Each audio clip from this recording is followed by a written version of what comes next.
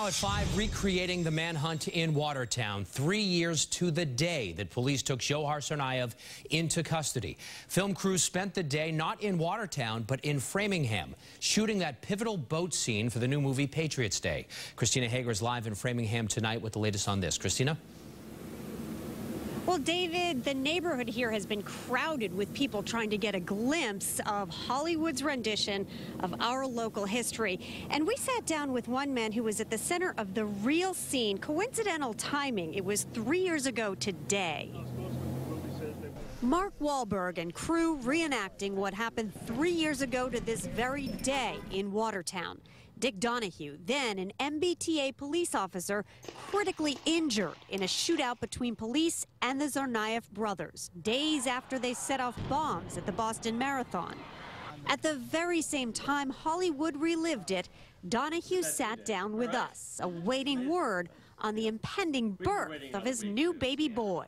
Any minute now, we're, we're really excited. And if I look back three years ago, it wouldn't have happened. I was just clinging to life then, and now it's come basically full circle.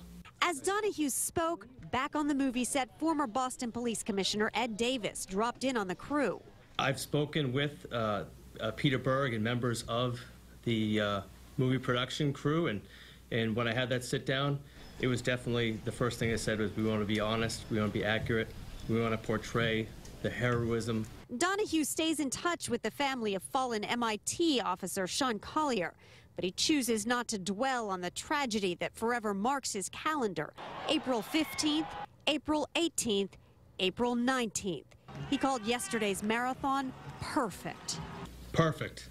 And what seemed so far away on this day back then, laughter. It is, a, it is a great day to be alive. It's, it's April 19th, and it's, it's three years. So every day on this year, I'm, I'm thankful to be able to wake up and, and you know, do some things I love and have a great family around me and a great community. Back live with a look at the filming in Framingham. Now, the city of Watertown turned down a request by CBS Films to create this scene in the actual neighborhood where the shootout happened. And by the way, CBS Films is a sister company of WBZ TV. I'm Christina Hager, WBZ News. David, Lisa, back to you. All right, Christina, thank you so